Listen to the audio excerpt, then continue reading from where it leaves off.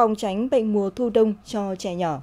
Thưa quý vị và các bạn, thời gian chuyển mùa thu đông, thời tiết mát mẻ đôi khi xe lạnh tạo cảm giác dễ chịu. Nhưng thời điểm này cũng là lúc xuất hiện rất nhiều dịch bệnh, nhất là ở trẻ em. Tuy nhiên, cha mẹ vẫn có thể phòng tránh cho con trẻ bằng cách giữ gìn vệ sinh và đảm bảo chế độ dinh dưỡng hàng ngày. Đây cũng là nội dung chính trong một thông tin sức khỏe ngày hôm nay. Mời quý vị và các bạn cùng chú ý theo dõi. Thông tin được đăng tải trên trang Sức khỏe và đời sống của Bộ Y tế. Thủy đậu Thủy đậu là một loại bệnh cấp tính do virus gây ra. Nguồn lây nhiễm chính của bệnh này là tiếp xúc với virus gây bệnh, như hít phải virus từ người bị bệnh thở ra trong không khí hoặc tiếp xúc gần với người bệnh. Trẻ sẽ bị phát bệnh sau 14-15 ngày tiếp xúc với nguồn bệnh. Bệnh thủy đậu nếu không được phát hiện và điều trị sớm sẽ gây ra rất nhiều biến chứng. Triệu chứng: trẻ hơi sốt, nghẹt mũi, chảy nước mũi, ho, mệt mỏi, biếng ăn. Sau 1-2 ngày, da trẻ nổi những mụn nhỏ màu hồng, mộng nước ở lưng trước rồi mới lan nhanh ra tay và chân gây ngứa. Phòng tránh, cách tốt nhất để phòng tránh bệnh thủy đậu cho trẻ là tiêm phòng đối với trẻ từ 1 đến 12 tuổi, trích ngừa một lần duy nhất dưới da, đối với trẻ hơn 12 tuổi, trích hai mũi, mũi sau cách mũi đầu 6 đến 10 tuần. Cách ly trẻ với nguồn bệnh. Những trẻ đã bị bệnh sau khi khỏi bệnh cần được nghỉ học khoảng 10 ngày và phải vệ sinh sạch sẽ các nốt bỏng trước khi quay trở lại trường học.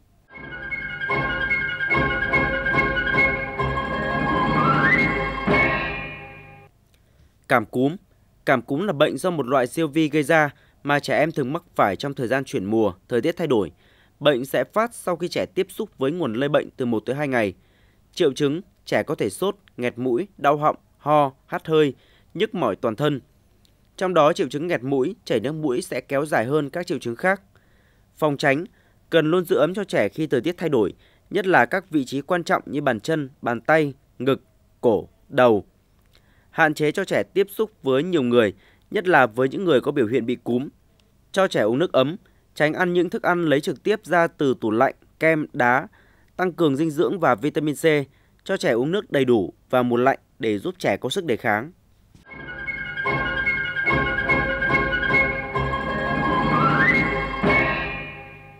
Viêm họng Viêm họng đa số là do các chủng virus gây ra.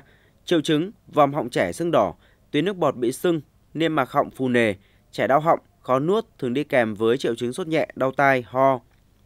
Phòng tránh, cần biết những yếu tố nào thường gây dị ứng qua đường thở cho trẻ để phòng tránh. Đeo khẩu trang cho trẻ khi ra đường, nhất là những chỗ đông dân cư và gần những khu công nghiệp.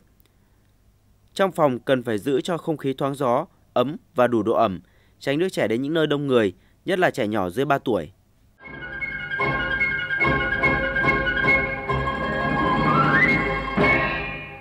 Sốt phát ban Sốt phát ban thường gây ra bởi virus sởi hoặc virus rubella. Triệu chứng trẻ mệt, thấy mệt mỏi.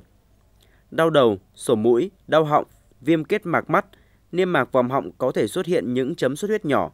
Ở vị trí gần hai bên cổ, sau tai của trẻ sẽ xuất hiện hai hạch sưng to và đau.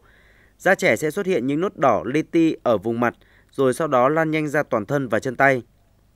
Phòng tránh, cần cho trẻ trích ngừa sởi và rubella theo chương trình tiêm chủng mở rộng – tiêm mũi tiêm 3 trong 1, ngừa 3 bệnh sởi, quai bị, rubella.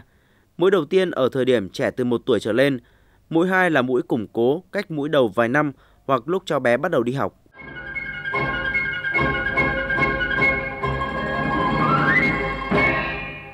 Đau mắt đỏ Đau mắt đỏ đôi khi còn được gọi là viêm màng kết, thường được gây ra bởi virus và vi khuẩn. Bệnh có thể lây lan do trẻ tiếp xúc với người đã bị bệnh, cho trẻ dùng chung các vật dụng vệ sinh cá nhân – Triệu chứng một trong hai hoặc cả hai mắt của trẻ có nhiều vân đỏ như những mạch máu li ti, mí mắt rủ xuống, ửng đỏ, nặng có thể chảy nhiều nước mắt kèm theo dỉ mắt.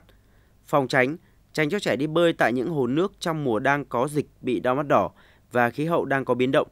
Thường xuyên giữ vệ sinh mắt, có thể dùng nước muối sinh lý natri chlorid 9% để nhỏ mắt cho trẻ. Tránh tiếp xúc với người bị bệnh và không dùng chung đồ vệ sinh cá nhân, nhất là khăn lau, thường xuyên rửa tay sạch sẽ bằng xà bông. Quý vị và các bạn thân mến, những loại thực phẩm giúp giải độc tố trong phổi sẽ là nội dung chính mà chúng tôi sẽ chuyển tới quý vị và các bạn trong một thông tin sức khỏe ngày mai. Mời quý vị và các bạn cùng chú ý theo dõi. Một thông tin sức khỏe ngày hôm nay đến đây là hết. Xin thân ái chào tạm biệt.